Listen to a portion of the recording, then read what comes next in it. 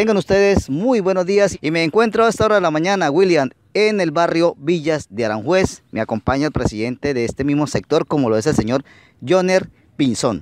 Bueno, Joner, buenos días, bienvenido a Meridiano 70 y háblanos de esta iniciativa que ustedes han tomado como habitantes de este sector, no permitiendo la entrada a ningún habitante fuera del barrio por motivos de este COVID-19. Muy buenos días.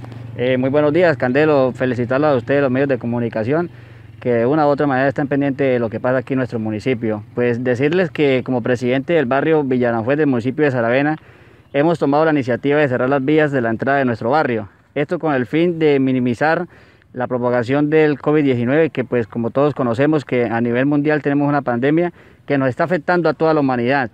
Entonces pues es una iniciativa que de una u otra manera lo que se permite es tratar de velar por la, salud de nuestra comunidad aquí el barrio como lo es el Villa de Aranjuez. Bueno, uno de los, eh, de los motivos que ustedes dan y un protocolo dice, el protocolo de ingreso al barrio son usar tapabocas, guantes, alcohol, gel antibacterial. Observamos eso hace un instante con un habitante que iba a ingresar al barrio. Eh, ¿De dónde nace esta idea, Joner?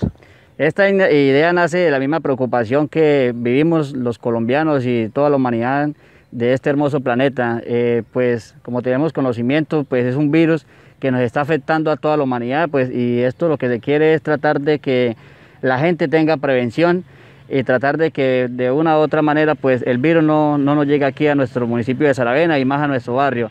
Esta iniciativa nace con el fin de salvaguardar pues prácticamente la salud de todos y pues existen unos protocolos. Aquí fue consultado con parte de la comunidad y pues esto se trata de que entre todos le hacemos la invitación como comunidad que respetemos los protocolos de ingreso al barrio, pues desde de conocimiento de que la salud es responsabilidad de todos. Por eso es que hay que conservar la calma, quedarte en casa es cuidar y cuidar de los tuyos.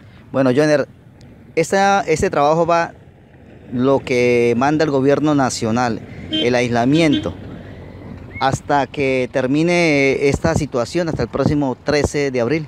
Ese es el pensado que tenemos como comunidad, ¿no? Pues a nivel nacional existe un decreto presidencial que es el confinamiento de aislamiento preventivo. Entonces, pues esa es la idea de que nos quedemos en casa. Como usted puede ver aquí en la mañana, pues solamente se ha permitido la salida de las personas que cumplan con su pico y cédula para abastecerse de, alimentos como es... Eh, la comidita, pues tenemos conocimiento de que pues, hay mucha gente que de pronto no cuenta con sus alimentos aquí en el barrio y la idea es que desde aquí aprovechar el medio de comunicación y solicitarle a la alcaldía municipal, al gobierno departamental, a algunas ONGs, pues tener en cuenta que si hay algunas ayudas humanitarias, pues que nos tengan en cuenta como comunidad, que hay siempre una población que de una u otra manera pues no tienen para sustento diario, entonces pues hacerle la invitación a que también se acuerden de nosotros como comunidad.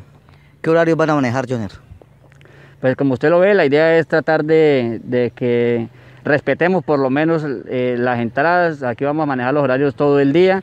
La idea es que pues, la comunidad ya está concientizada y concientizar también a la comunidad que pasa alrededor del barrio para que pues también esto sirva de ejemplo a todas las comunidades y hacer la invitación a los diferentes presidentes de la Junta de Acción Comunal aquí aledañas al barrio de que también tomen estas medidas preventivas. Esto no solamente es un capricho, esto es por la salud y el bienestar de todos los, los.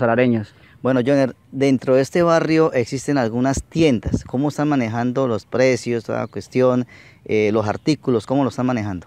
No, Candelo, pues afortunadamente no contamos con tienda aquí dentro del barrio, pues la, comunidad como tal que cumpla con su pico y cédula, eh, pues sale a, a, mercar al centro donde pues de una u otra manera están abiertos los supermercados, las droguerías, entonces pues aquí no tenemos problema porque pues esto se le informó a la comunidad que hay que abastecernos de que debemos de cumplir los protocolos que tiene como comunidad. Bueno, Johnny, pues lo felicitamos porque hemos visto que varias habitantes de otros sectores, de otros barrios, le ha gustado esta iniciativa que ustedes han tomado, el querer eh, evitar de que se transmita este virus y es así una de las maneras como se puede evitar las entradas a los barrios. La invitación a todos los presidentes de nuevamente, a los presidentes de junta de barrios a nivel departamental.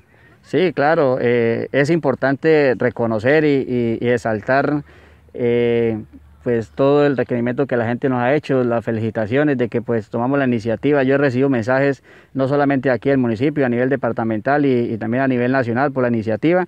La idea es invitar a todas las comunidades que pues de una u otra manera como presidentes de Junta de Acción Comunal pues se apropien se apropien de estas iniciativas porque es en beneficio de salvaguardar la salud y prevenir los riesgos del COVID-19 que pues de una u otra manera nos afecta a toda la población colombiana. ¿Cuántos habitantes tiene aquí el barrio, Joner? Pues aquí hemos estado haciendo una caracterización, pues contamos aproximadamente con 80 personas que están viviendo aquí en la comunidad. Entre eso pues hay adultos mayores, niños y de una u otra manera pues lo que se quiere es tener como un listado, un censo, en caso de que lleguen las ayudas, pues ya tener nosotros eso a la mano. ¿Cómo se encuentra este barrio en los servicios públicos? Excelente, aquí lo que es el agua y, la energía, pues eh, contamos con todos los servicios aquí en esta comunidad. Bueno, Joner, muchas gracias.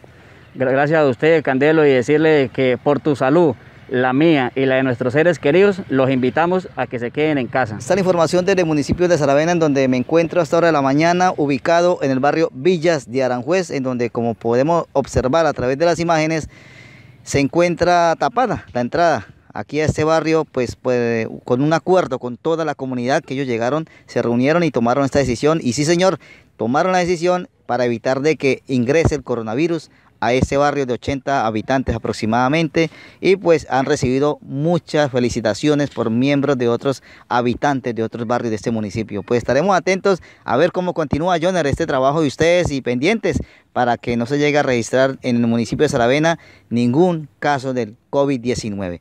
No sino por el momento, a través de Meridiano 70, la capital araucana, desde el municipio de Saravena, les informó Jessica Andelo. ¡Feliz día!